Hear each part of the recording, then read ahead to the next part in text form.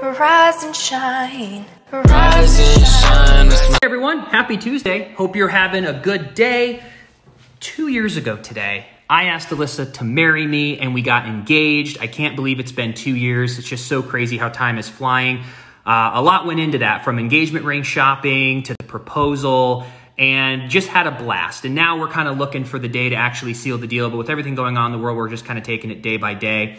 But in the meantime, Alyssa has put together a video on YouTube so that if you're looking for an engagement ring or you're going engagement ring shopping, you'll have a little education because there's a lot that goes into it. I know that we learned two years ago when we went, and she's gotten a lot of questions about her ring personally. So we go over the specs of our ring or her ring. I like to say our ring, but from her ring, she goes over what uh, what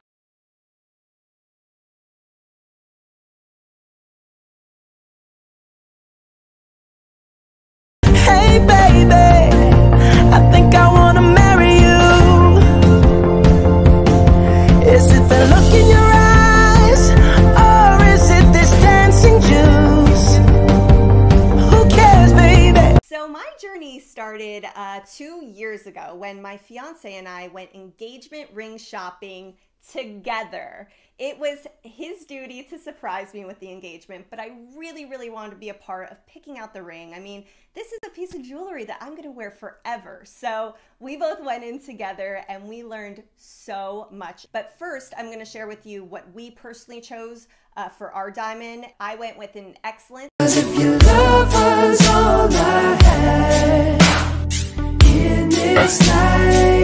Life,